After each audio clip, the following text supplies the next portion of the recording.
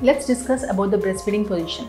Each mother-baby duo has a unique breastfeeding position which is more comfortable to them and there is no magical position. The first breastfeeding position usually the young mothers follow immediately after delivery is laid back position where the mother lies in reclining position, the baby is laid between the breasts and the baby self-latches. This position is also helpful during the skin-to-skin -skin contact sessions and KMC sessions. The second position is cradle hold which we commonly see everywhere. This is a classic breastfeeding position where the baby is held on the same side of the arm where the mother is breastfeeding. Though this position seems simple, it is little difficult for the new mothers to practice this position as the baby's head wobbles.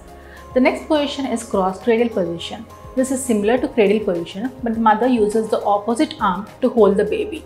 So this will allow for better uh, positioning of the baby's head. The next position is side lying position where the mother and baby are lying side by side tummy to tummy. This will help in relieving mother's fatigue and it will also help if mother has large breasts. The fifth position is football hold position. This position is usually used by mothers who are not successful in other positions. This will also help in relieving the pain of LSCS. In football hold position, baby's uh, visualization of mouth will be better. The baby is held like a football on the mother's arm and the baby's hips lie along with the mother's hip.